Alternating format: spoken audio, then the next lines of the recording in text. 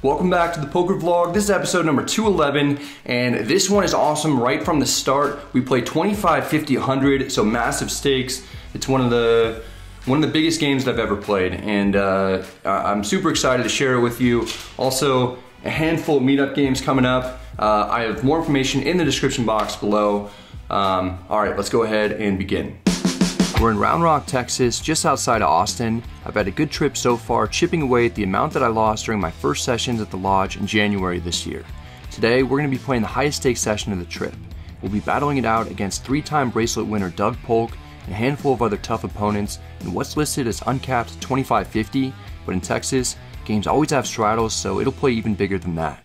I arrive at the card room, I'm feeling some pressure, as I always do, to do well on the stream, but there's even a little more than normal because I'm doing a giveaway for any potential winnings. I shoot this video before the game starts to explain it. Hey guys, how's it going? I'm about to hop into the 2550 live stream game here at the lodge. We got Skull Mike behind me. A fan made this for me, pretty sweet. So uh, massive game. I'm gonna be buying in for 10 to 15,000 and uh, I'm gonna be giving away 10% of my winnings to a random viewer. So if you tune into the Lodge live stream, you subscribe to the Lodge Live, and comment on the video, uh, you'll be qualified to win. Hopefully, hopefully I can make a lot for us. This is one of the top five biggest games I've ever played. I hear that most of the players are planning to buy in for 10,000. That seems like a reasonable amount to start with. Occasionally in high stakes, I'll sell action. I decided against that today. I'm completely on my own, and with the giveaway, I actually only get to keep 90% of any winnings. My mind has been on this game since I committed to playing it. I had a decent $1,900 win on the stream two days prior, but I'd like to get a signature win that has been elusive for me here at the Lodge. We make our way to the table, there's some good players in the lineup, but I've come in focused, and I'm ready to play my A game. Slick Rick and Skull Mike are in the booth doing the commentary. We look at the initial chip counts to start the game. Doug and Jay win, buy in for 20,000 and 15,000 respectively. The rest of us are in for 10,000. This game is huge. About a half hour in, we get an opportunity to get in the mix. By the way, there's at least one straddle on for every hand, so this one is 25, 50, 100. Doug has pocket jiggities and a second act preflop. He raises to 250. We've got something that we'd like to play. We're in kind of early middle position with pocket sixes. This is a spot where the vast majority of players are going to flat the initial preflop raise with the small to medium pocket pair under these conditions. That's totally fine, but I've been doing some studying with Nick Petrangelo for part of the cash game course that's still going to be coming out on Upswing. It's just been pushed back a few months and is scheduled to be released in the fall now. Anyway, here's a look at the preflop chart Petrangelo gave me for this exact situation. You'll notice that you're supposed to play a tight range since there are still several players left to act behind. It's mostly a 3 better fold strategy. Even with sixes, folding well over 50% of the time is the correct play, mixed in with some calls and some 3 bets that you see represented with the green. When I'm on stream, I try to take the more aggressive line as often as possible.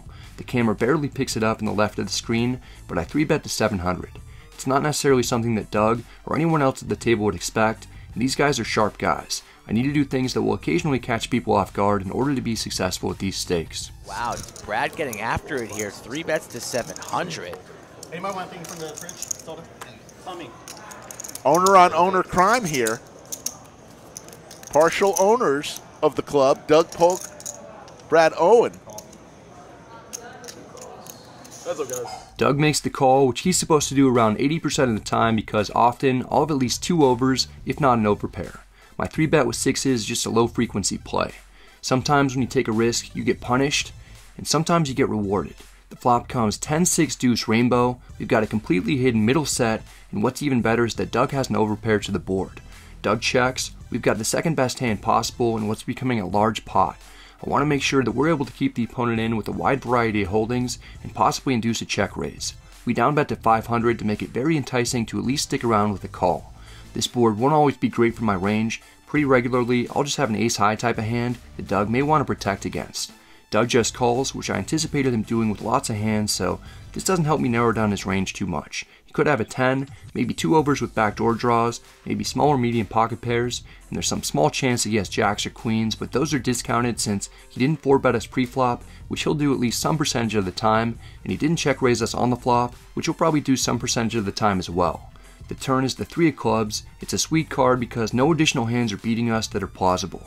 If Doug has 3s, we might be able to get it all in, if he has 4s or 5s, we can probably get at least one more additional street of value. Hands like 9s and 8s won't be afraid of the 3 either. Doug checks again. We need to start building this pot up a little more. Ideally, we want to set ourselves up to get all the money in on or by the river. I bet 1200. It's slightly less than half the pot. Maybe it's on the small side considering what Doug has and what I just stated is our goal, but it makes it seem as if maybe I'm playing cautiously or afraid of something, and it again provides an opportunity for Doug to check raise us. The smaller we bet, the more hands opponents can check raise us with. Doug's going nowhere for that price. He calls. Now I'm beginning to think that queens and jacks are a lot more likely, given that Doug has made it all the way to the river after I 3-bet pre-flop, bet on the flop, and bet on the turn. I still wouldn't be too surprised to be up against ace 10 suited, 9s, 8s, 7s, 5s, and 4s. The river is the 8 of hearts. I'm somewhat worried that we're up against a set of 8s. Other than that, it's a great card. I don't have to be concerned that Doug will have 9-7 suited because he would have folded that at some point pre-flop. Doug checks. I want to target his queens, jacks, and ace-10 hands because he won't be calling a third barrel with many other combos. Overpairs and top pair hands should be able to call a fairly large bet. I consider shoving for around 8,000. I might do that as a bluff with a hand like Miss Clubs, Ace 5, or Ace 4. I just don't want to squander this opportunity to make at least some money and give Doug a chance to get away from something like an overpair, which he's definitely capable of folding if I jam. I announce about a 4,000. A quick 4,000. And see Brad, Doug's face, he's disgusted. He's got a bad feeling in his stomach, but I think he's going to lean on making the call, but what, what is really Brad doing this with? Is he really going to barrel three streets on me with a, a busted big slick, ace, queen, etc.? Queens plus have you beat. Tens, eights, possible sets. So Doug losing to a lot, and if anybody can make a good fold, it's the two seat.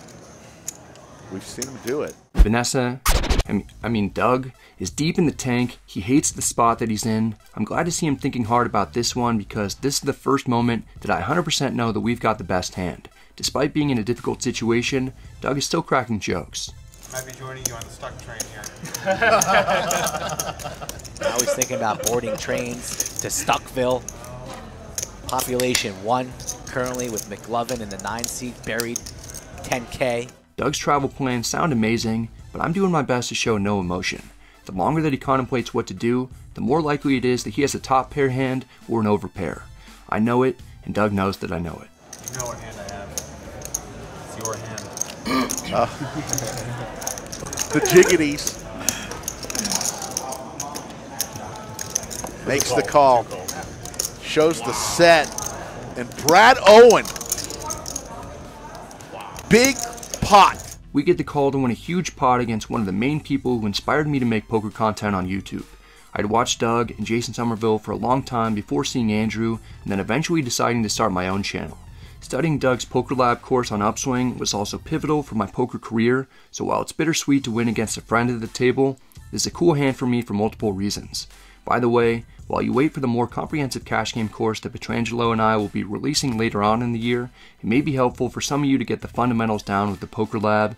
I have a link with discounts to it in the description box below. It certainly helps me quite a bit. We're off to a great start. We're second on the leaderboard, winning almost 7,000. If the session ended right now, this would be my third biggest win that I've ever had. I don't want that though. I prefer to be first on the leaderboard with my biggest win ever. The deck isn't too cooperative. About an hour goes by of us running cold, then McLovin picks up ace 4 suited in the hijack and raises to 300. Bones hasn't beat with ace jack offsuit in the cutoff. He 3 bets to 1100. Doug doesn't have a hand that he can call a 3 bet with. We don't have one that we'll be calling a 3 bet with either. We look down at ace king offsuit. We're going to play it. We're coming in cold with a 4 bet to 3500. This should look incredibly strong and rightfully so. No one really has anything that they can go to battle with. The opponents fold, I'm totally fine with that result. We didn't even have a pair, yet we add 1600 to the stack. I'm glad that we didn't get jammed on. Despite picking up very few playable hands over a fairly long stretch, we've been able to make the most with what we've been given. Nearly two hours in, Trey picks up King Jack offsuit in hand number 54. If you haven't noticed yet, there's a hand counter in the bottom right corner of the screen. That's one of several new additions to the revamped stream at the Lodge. Trey's first to act, he raises to 300. It folds to Doug in the big blind who has ace 4 suited. It looks like he's thinking about 3 betting. Instead, he calls. We've got queen 10 suited in the under the gun straddle. At the moment, we have a tight image. I consider putting in a 3 bet squeeze. You can see it on my face that I'd like to do it. You can also see in another chart that Petrangelo gave me that when you're in the straddle and an early position player raises, followed by a big blind call, you're supposed to 3-bet Queen 10 suited around 40% of the time. When this course comes out and you see all the charts, it's going to completely change your game. In the meantime, I'll show you some charts occasionally in interesting spots as they come up. I elected just flat and close the action. We're going three ways to the flop. It comes ace 9 deuce rainbow. We've got nothing except some backdoor draws. Doug checks his top pair. We check. Trey wants to rep the ace that Doug has. He bets 425. If Doug folds, my mind immediately goes towards the thought of check raising. Our hand isn't really good enough to call, but we have lots of cards that can help us on the turn. We can rep hands like sets of nines and deuces, as well as ace nine and ace deuce. Doug calls, I should just give up. But now that we're getting 4 to 1, and with my tight image to fall back on in case we're not able to make a hand, I can perhaps cash in on the credit that I've built up and get a bluff through if I see an opening later. I make a speculative call.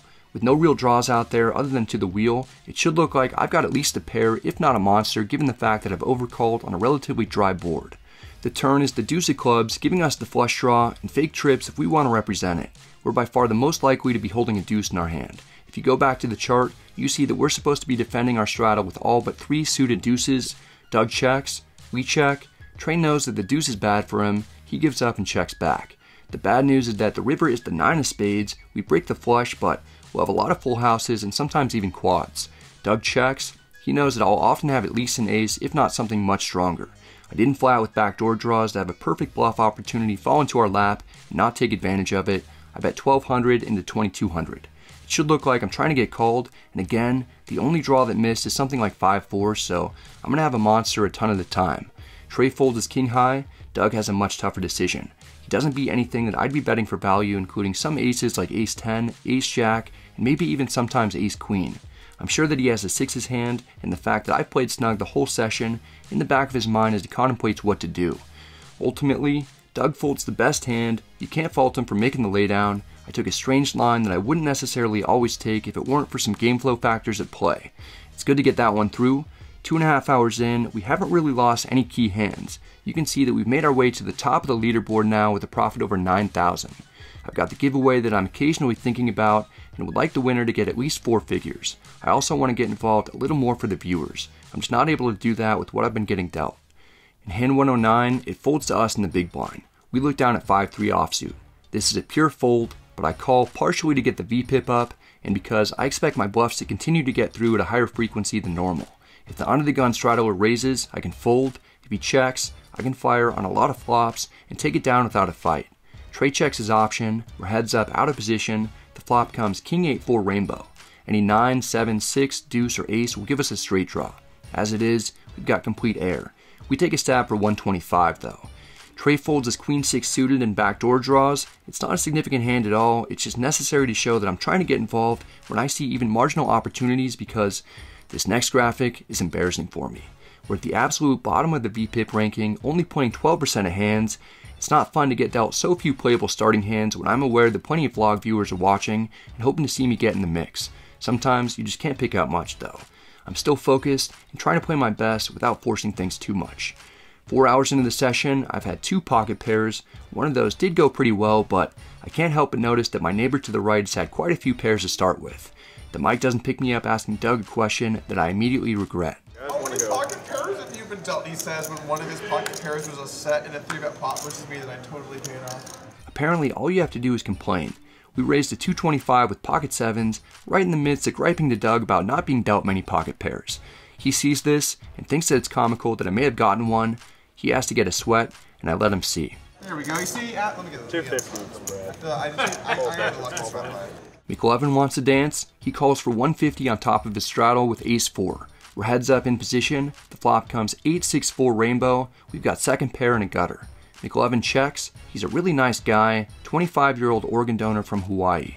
This is a flop that I consider checking back on because it'll hit the straddler's range hard, even if it doesn't connect strongly with the opponent's actual hand. I anticipate getting check raised somewhat regularly. I make a calculated decision to bet 300 anyway, with intentions of calling a check raise with my pair and gutter. If I do get check raised, I have excellent card removal to some of the strong hands like 7-5 suited that the opponent will be representing. McLovin isn't sure bottom pair is good. He indeed puts in the check raise to 900 to represent mostly a set or two pair because that's what he has removal for. I stick with my plan to call for 600 more. not fully convinced that I'm up against anything that strong yet.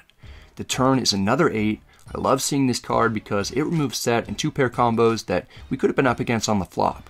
A lot of players don't check raise hands like 9-8 or 10-8 on the flop since you don't necessarily have to turn those into bluffs, so I'm not too concerned about being up against just trips, mostly concerned about being up against full houses. McLovin looks a little uncertain regarding what to do. He chooses to continue firing, but he only makes it 1200. Doug knows what I have and is trying his best not to give anything away. I appreciate that. I didn't call 900 on the flop to fold to a $1,200 turn bet when I liked the card that came out. I call, still not knowing exactly where we're at, but sensing that we've got the best hand. The river is another 8. If a second 8 was good, 3 8s on the board is better. We've counterfeited sets of 6s and 4s as well as 6 4. In the off chance that the opponent has 7 5, we beat that now too.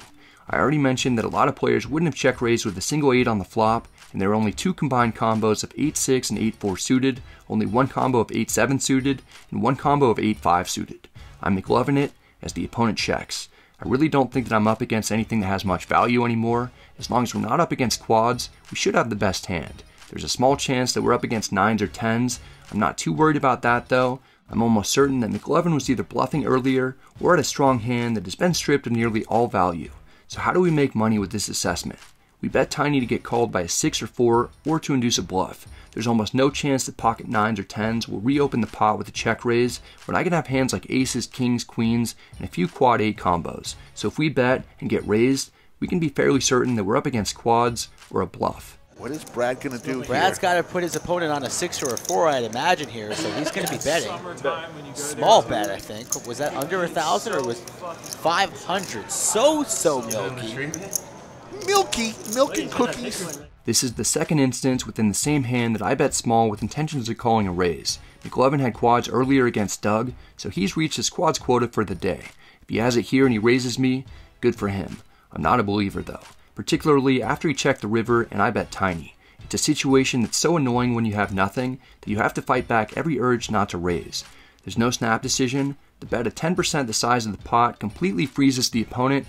He's thinking, will a check raise work, or does he want me to check raise him? Do I ever beat anything? Maybe I should fold. How can a fold be right when I'm getting 11 to 1 and I have a full house? For almost two minutes, we don't hear a word from McLovin. I'm enjoying every second of putting the Irish R&B singer in the cage. To his credit, he's able to properly narrow down what I have. Is he disciplined enough to let it go, though? Yeah, such a good bet. Yeah, pocket sevens. Oh! He called! He called his hand. A great call by McLovin. McLovin locked in, knows he's got sevens. He's going to pay him off anyways. Take him at 500. Go. Wow, sevens. Fuck it. next time I'll slap raised. Slap raised. You might have just heard McLovin say that next time he'll snap raise me on the river, and in this hypothetical world, I said that I would have called. I bet with a plan in a spot where most people check back, we get almost every ounce of value we can out of a flopped bottom pair. Even though it's a smaller pot, correctly calling the check raise and the turn bet with sevens, and then getting our tiny bet called on the river is at least in some ways more fun than the set of sixes hand. We're having a good time today as we're up over $11,000 on the session. We're in five figure profit territory, and the giveaway winner will get four figures if we can maintain or add to our stack. The session isn't over though. In hand 117, we've straddled to 100. It folds to Doug. He has King Deuce suited. This is a combination that's a pure call for 50 more. He makes it. We look down and are happy to see Ace 10 suited. It's a monster in a blind versus blind spot. We raised to 300. Doug knows that there's a good chance I was going to raise.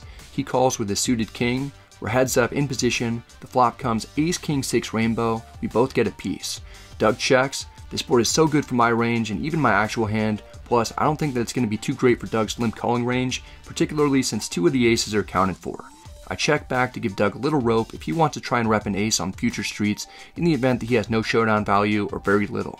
The turn is another ace, Doug has a hand with plenty of value and he doesn't need to turn it into a bluff. He checks. It's time to start getting money in. I still don't think there are too many hands Doug will have that can call a bet, especially now that he's checked twice and three of the aces are accounted for. I bet 100 to see if Doug wants to get wild. There's no need for him to. He just calls. There really isn't much out there. Maybe Doug has a king or a six. The river is the four of spades. It's a blank. Doug checks. I played this in a very deceptive way up to this point. We're going to go way bigger than we did previously to target really any other pair or a non-believer. Brad's going to go for the 100 turn bet to the $700 river bet. Makes the, the call, call. gets paid. And honestly, Brad has played flawless poker tonight as far as the hands he's been in. It's nice to run well in these types of situations. I've gotten some great runouts today. It's the exact opposite of what had happened my first few stream sessions at the lodge. We're doing great. Two orbits later, we find ourselves in a similar situation. Folds to Doug in the big blind. He's looking for a little redemption with his queen 10 offsuit and raises to 300. We've got ace 3 offsuit. We're supposed to call around 70% of the time and 3 bet the rest. We call, we're heads up in position. The flop comes 4 4 deuce with two hearts. Neither of us have too much, although we've got a gutter and the best high card. It's a paired board. Doug doesn't have to bet too large. He puts 225 out there. We could have the best hand, plus there's some cards like aces or fives that'll make us feel a lot more confident. We call. The turn is the nine of spades, no help to us. Doug isn't going to let up. He keeps his foot down and fires for 850. This puts me in a difficult situation. I'm considering all options. Raising seems reasonable since I'll have significantly more fours in my range, and if we don't get the bluff through, we can perhaps improve on the river. Calling seems perfectly fine as well. Folding doesn't sound too bad right now, particularly since we've got a nice win going for ourselves and whoever is the recipient of the giveaway. I've done well at picking and choosing my spots. This one is easily avoidable. I'm still skeptical. You can see me say to Doug, I'm folding the best hand as I let the cards go.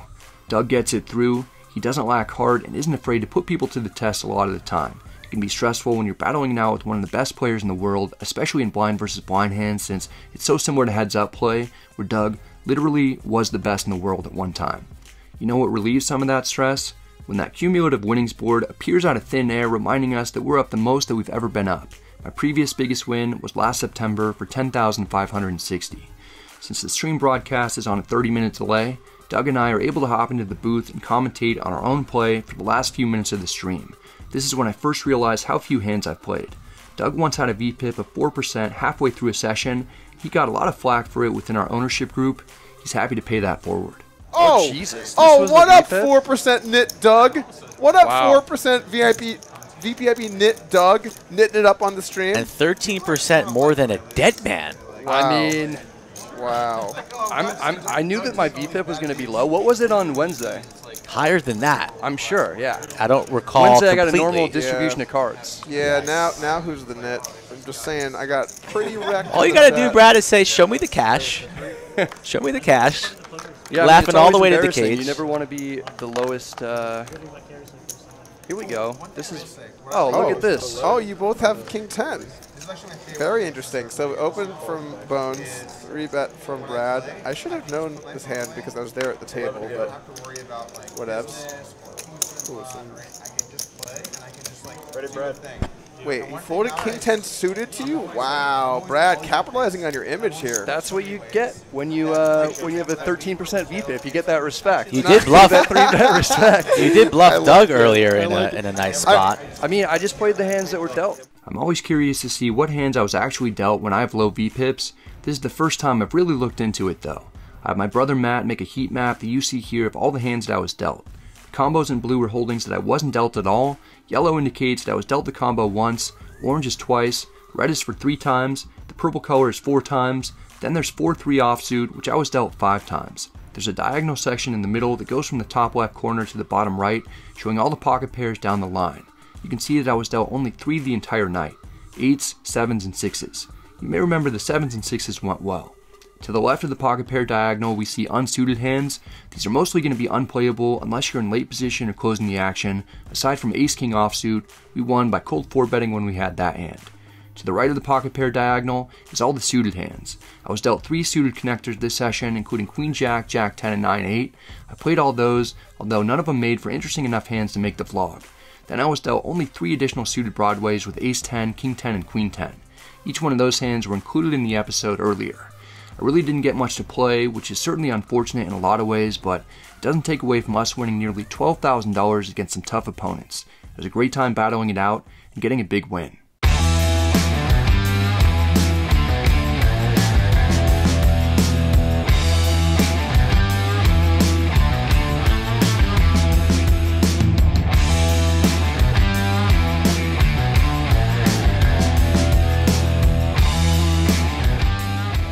For five hours and won $11,800. So that's the biggest win that I've ever had. It's only the second time I've ever won five figures before. Uh, I got in the big hand versus Doug early on. Uh, we battled quite a bit today. So there were some fun ones in there. You, you got me at the end. Yeah, one, one was a little more fun for one of us than the other, but Yeah. But uh, good group of guys. I didn't realize my VPIP was 13%. Uh, didn't Yeah. feel like I got a lot of stuff to play. Um, but the hands that I did get to play, I feel like almost all of them went my way, which is, it was just really nice to have a session like this after that Monster Meetup week when uh, it was the exact opposite and I got wrecked. So I'm now officially unstuck at the lodge. That feels really good. And, uh, and Doug is on his way to being unstuck. I'm but, glad I uh, could be involved in the process of you getting unstuck. I, can, I could be a contributing factor to the unstuck. I mean, look, like, the thing is with the VPIP, like, I think it was last week, I saw a stream where it was like most of the way in, and I think I had 4% VPIP, which I think is a lie. I don't trust the VPIP at the lodge, but anyway. Uh, sometimes you just have way more hands than other hands, and what are you going to do? Like today, I had a lot of good hands, and when you have those, it's going to look higher. I, I don't know. I mean, I think it's it's it's obviously a useful stat, but it can be a little bit much in one session when you look at 100 hands of poker. Yeah. Yeah, so we're playing in some pretty high variance games, and uh, luckily the went, went my way today, so real real happy about that. Yeah, I had the jiggities three times. I, I, I told him, I, I think they might have had him as seat two, but he was seat three, so they were just sliding him over to me. Should we make should we make jokes like that? I don't know. Yeah, maybe not, I don't know. It's all good. It's all good. but uh, all right, dude, good playing. GG's. Ethan Bennett ends up being the recipient of the $1,200 for the 10% giveaway. I'm happy to occasionally do this type of thing to give back to people who support this vlog and the Lodge Live. It's time to celebrate. There's no better way to do that other than head into downtown Round Rock with Skull Mike the commentator, Mixon, and a few other poker players. We go to this place called Brass Tap. It's my new favorite spot in the area. It's good to have a few beers while the adrenaline from playing high stakes wears off. There's still a little more poker on this trip left to be played though. There's tons of action at the Lodge with our monthly monster event going on, leading right into the Lodge Championship Series. For days I wasn't playing on the stream, I gave updates on my Instagram account, which is why this clip is shot vertically and me getting in pre-flop with aces versus kings on the last day of the trip. Aces holds for a $2,400 pot against a viewer in a 1-3 game. Only in Texas is 1-3 play big enough for us to end up with a $3,400 win on the session. This is by far the best poker trip that I've ever had. Remember from Monday's vlog that I was down almost $12,000 at the lodge coming into this trip. But my first day here I won 23.30 and 2.5 before somehow losing $130 in a free roll. Then the next day I played the stream where I won 1880. This session was highlighted in the last vlog. The day after, I lost $160 playing 1-1 PLO. That brings us to the session highlighted in this video where we won 11,800. The next session, we battled a grueling 8 hours and 45 minutes to grind out a $235 win. I was stuck about 2200 at the low point, then won a 5k pot towards the end to get out of the hole. Finally, that brings us to the last day where you saw that we had aces over kings in 1-3 and won 34-15. In total, I played 7 sessions in 6 days and won over $19,000. It's by far the best week of poker I've ever had. You can see that I get completely out of the hole that I was in at the lodge. I'm actually pretty profitable here now. Over 20 sessions total, I've won 7,500, good for 75 an hour. What's even more important is that I'm finally back on track for the year after a very slow start. For all sessions that I played in 2022, I'm up almost 17,000. The thing is that I've got several other big games that I'm planning to play, so I could easily get stuck again at some point before the year ends, but I hope that's not the case. I'm just glad to finally have some nice wins and good memories of playing here. The games are high variance, but if you run well, you can win a ton. The staff is also phenomenal, including Fredzo here, who makes a huge tray of homemade enchiladas for me after I tell him how much I enjoy Mexican food. The good times are piling up here in the Austin Round Rock area. If you ever get a chance, you need to come check out the lodge for yourself. It's a special place. That's it for this one, guys. I hope you enjoyed it. If you did, I'd appreciate it if you hit the like and subscribe buttons because it helps out the channel a ton. If you have any questions or comments, feel free to let me know in the comment section. I'm happy to get back to you. This was a really cool session for me to have. It was my biggest win ever. It was on the Lodge live stream, uh, which we put a ton of time and effort into um, to, to upgrade and, and iron out all the kinks that we had a couple months ago.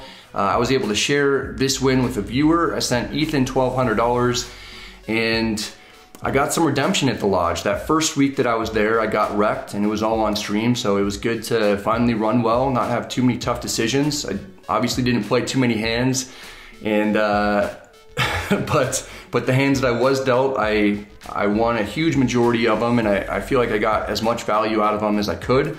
So very proud of that one. Um, if you if you haven't seen the the previous vlog where I played on stream, I won on that one as well, and so this trip just went great, and uh, it's good to have some some nice memories of winning at the lodge. Um, I got out of the hole for that property. I got out of the hole for the year, and the year is back on track. So uh, it was great to run well playing high stakes. I've got a few other plans to play some really high stakes games coming up and I'm excited and nervous about those. Um, I, am not doing a profit goal this year because how I do for the year is going to be determined by just a few sessions where I play, you know, these outlier massive games. And I think it's just more important for me to have goals based around studying, getting more comfortable in high stakes, and uh, developing more as a player. That's what I'm. That's what I'm focusing on this year.